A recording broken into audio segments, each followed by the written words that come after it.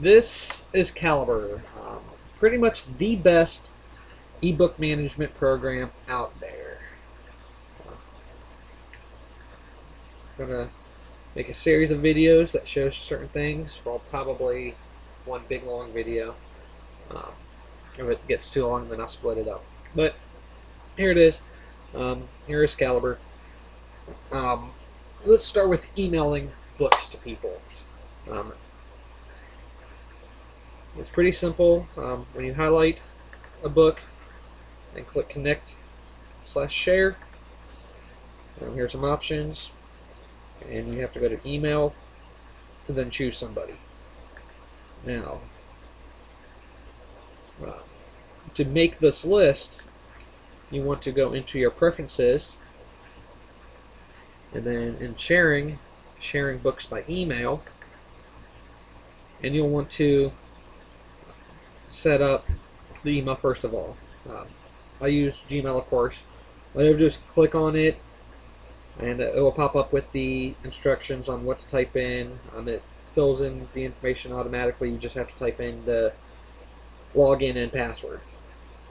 After you do that, here is the list of people you can email. Um, over here, you click Add Email, and I will add one of my other email addresses here. EricSS at yahoo.com. And then this field, you can choose what format to choose. Most likely, you're going to, um, based on the person, uh, Mobi is for Kindle formats. EPUB is for every other e-reader out there. So um, that's why when I'm sending, when I'm adding people to this, I'm always asking them, what's the e-reader? Because if it's a Kindle, make sure it's Mobi. Now, I don't have a Kindle, so I will set as EPUB. You can set the subject, anything you want. I like to have it set as Eric, and then you can have an alias. I'll set it to Eric SS. And then you click apply, and then click close. And now, when you go to email something, it will be listed right here, ericss at yahoo.com. Um, the alias must not have taken, so let me check on that. Yeah, the alias did not take. Sometimes, sometimes it didn't take. If it doesn't, just um, switch to it. You know, highlight a different one. Um, apply, close, and now it will show as the alias Eric SS. Um, what the formatting does um, in the email, if you haven't already converted it, it will automatically convert it to that format if need be before sending it. To convert a book to a different format, just just to convert it, all you have to do is highlight one. Let me find one that I don't have a Mobi for. Da, da, da, I'll reconvert it. But you just click on convert. Pops up with this. Um, mine is set as a default EPUB because I have a, a Nook. But you can change it to any of these formats. EPUB, Mobi, AZW3, which is another Kindle format it uses. FB2, HTMLZ, Lit, which is another ebook format, um, specifically. LRF, PDB, PDF, PMLZ. Most of these I've never even heard of myself. Um, well, EPUB and Mobi will be the two that you most likely convert to. Um, choose the format you want, and then click OK. And then it will list the jobs down here. I just in the book. And sometimes it takes a little bit, sometimes not. Now you don't have to open up this list, but I usually do take a look at it. and talking about emails, in the preferences, um, down here the tweaks, you want to find the one that says um, set the number of seconds to wait between emails. Let me find it. Let me find it.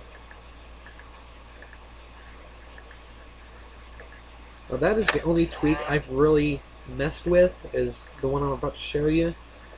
Um, so I doubt you'll um, really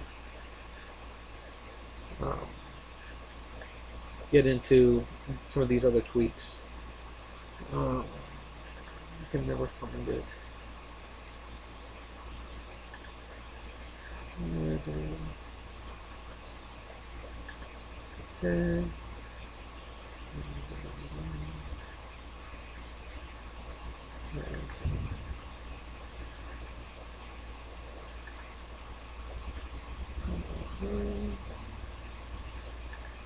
Just give me a second. I'm still trying to find it.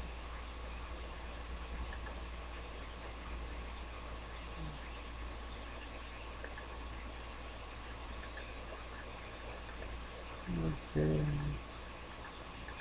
I am not finding it. So let me do a search on it. Next.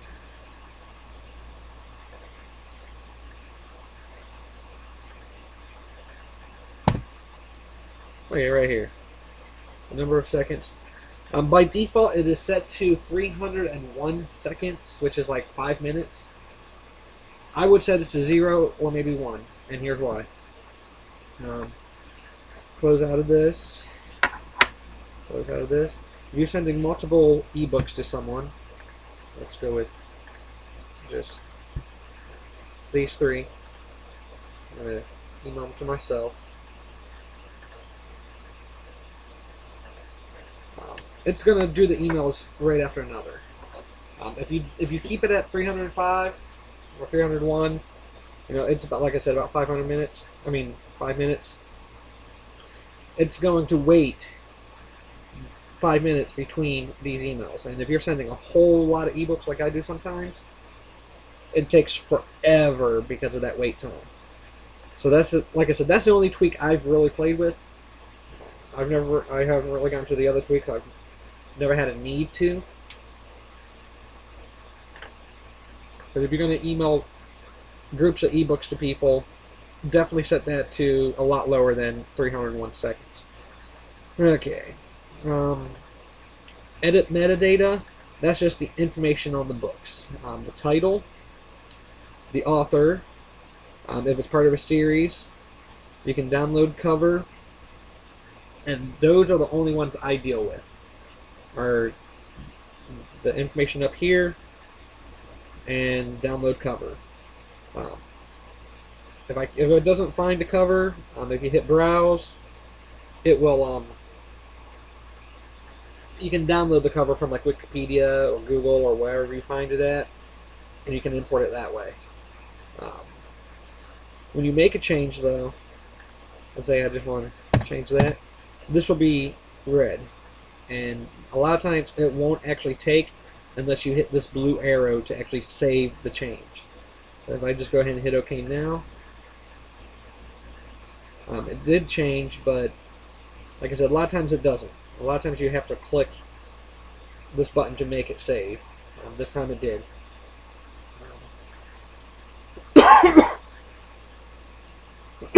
you can delete books too. Um, highlight it, press this button here. Like I have no idea why this one is in here. So let's go ahead and delete this one. And it confirms the one selected book will be per- permanently deleted and removed from the library. Click OK.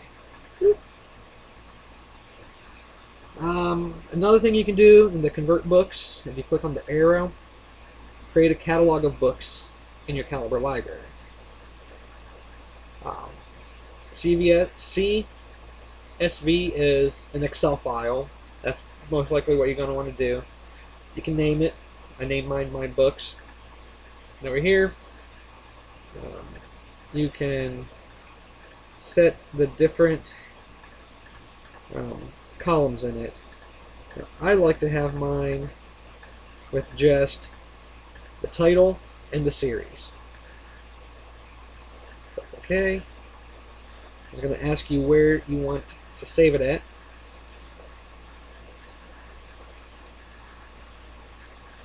to get some running. It's generating 1,582 books, so probably going to take a few moments. But It's going to pop up and ask you where you want to save it to.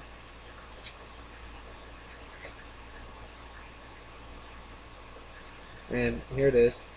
I like to keep mine in a book, in a folder just called Books on the desktop. But that's all personal preference. You can save wherever you want. Now, if I were to go there, here it is, books. There is the list of ebooks I can send to people. Hey, here's what I have in Calibre. Um,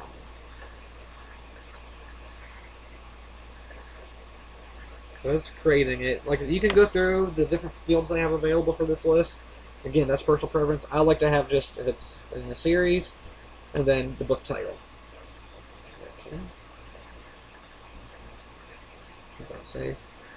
Another tidbit is um, you can save books, save to disk. Um, but before I do that, I want to do something. Um, saving books to disk. I like to do it by series. So I want to change this to series and then change this. Okay. I click on apply. And close. Now let's choose one that does have a series. Um, one of these books here. Save to disk. It's going to ask me where I want to save it. Again, I like to save them in a books folder. Select folder. And it's going to save it. Again, I go here, Anita Blake, and then each each book would be in an individual folder, like Skin Trade. Open that. Here's all the books, the, the formats I have, and the cover art. See if I were to if I were to choose, let's say, let's say let's go with those. Save all these to disk.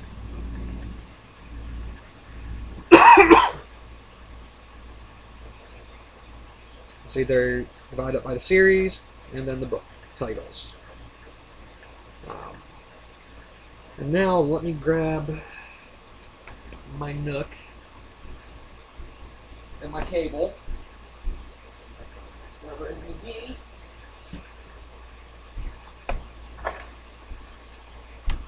And of course, it is an ebook management, so when you plug your e-reader, whether it be the Nook or the Kindle, and you plug it into your computer with Calibre on, or you plug it in and then fire up Calibre, it is going to be recognized within Calibre. As soon as it recognizes it, you'll you'll see it. See, it changes. It has this on-device um, column. Um, that way, you can tell if your books in your library are in book, but it is not showing anything in it, probably because um, I put books all on it on the, oh there it is. Um, they all display in the main memory because that's where I put everything, of course. Um, I can remove stuff from here. Let's say, um, let's find one that I haven't, I've already read. Uh, Time Traveler's Life.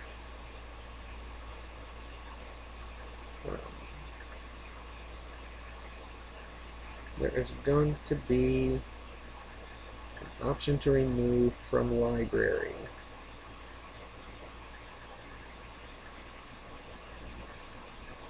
If you right click on it,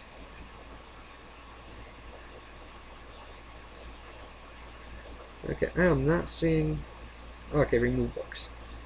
Remove books. Um, Just remove Macton books from device. Um, that won't delete it from your library. It just takes it off of my Nook. So I click on that, and then click OK to confirm it. And the operation will be the same for a Kindle. if you want to put a book on it, let's choose random book here. Um, naked lunch, whatever that is. Just um, if you have memory cards in your e-reader, you'll have options to send a storage card A or B, um, or send specific format to whatever. Um, I just do from the main memory.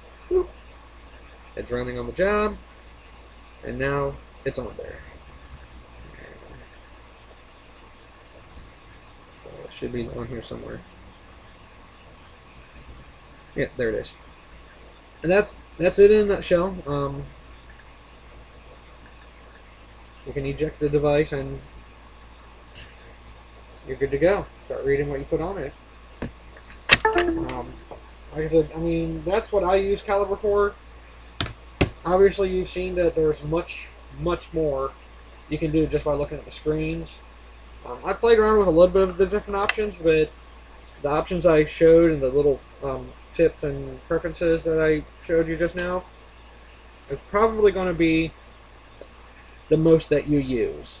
So, any questions or want to know how to do anything else, let me know.